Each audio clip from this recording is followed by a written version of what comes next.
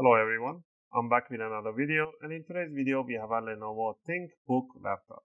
This one is a Lenovo ThinkBook 14-IIL or the model name is a 20SL.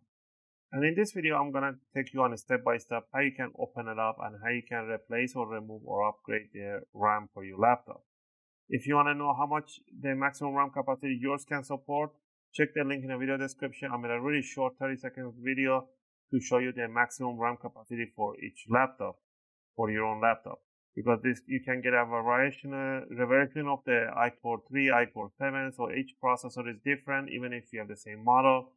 Check that link to see what's the limit of the motherboard RAM capacity. Once you know your limit, you want to come back here and we're going to follow the video to do your own upgrade. We have upgraded this one up to 32 gig with no problem. And just this video is just for demonstration how to get to those and how to remove them the proper way. Alright, first thing first, you want to power off the laptop. You want to grab yourself a screwdriver set. I'll be using an iFixit screwdriver set. From this tool set, I'll be using a Phillips number one. If you don't get the Pro set, just get the simple set and for the guitar pick it's going to be for opening tool I don't know why it's not focusing and the guitar pick is for opening tool. These are really good. All right with all this on hand we're going to get it started. So first thing first we want to remove all the screws on the bottom cover. All the screws are the same size and height. There's screws right inside this hole in the back mid middle on the side. So remove all the screws and keep them in one pile. So don't worry about mismatching them. Also, if you guys like my videos, if you find my videos helpful and helping you guys out, you can support the channel by clicking the like and subscribe. I'll greatly appreciate it. It helps and motivates me to make more videos, take requests, and answer your questions in the comment area. I really like this build. It is aluminium grade, covers top bottom. It's really good for dissipating heat and very nicely made powers. Alright, now that we remove all the screws, I forgot the one in the middle. Don't never forget any, double check.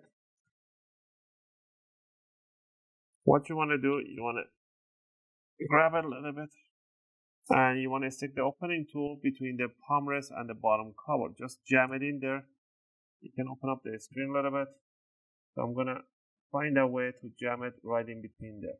Just find your way and put it right in there about two or three millimeters and then what you want to do you want to just twist it like this I'm just twisting it and the cover is gonna open up I'm sticking it like under the aluminum and I'm just pushing the aluminum upward alright so you want to do that all around on the left and on the right side so let's go here and go all the way to the back corner. Once you do this side and the front, you can just grab the bottom cover, bring it out, wiggle it around, and it will release itself. Alright.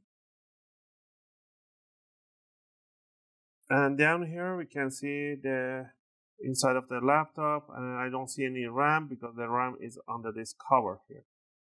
And you can you don't need to remove the battery to do RAM upgrade, but some people are really flimsy and they cannot remove this cover and they can make a short, so it's safer to just pull this jack backward. So grab it, pull it backward, use your fingers. Pull this connector backward, slide it back, don't put it, make sure it's straight, and then disconnect it, and then you can grab this metal cover bracket.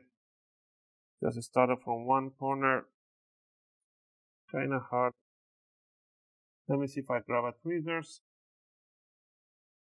And I will poke it right under this sheet. And I will lift it up like that.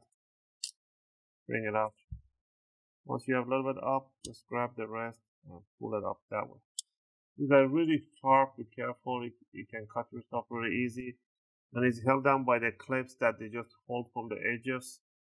So there we have it. So this one it comes with a 16 gig DDR4 RAM.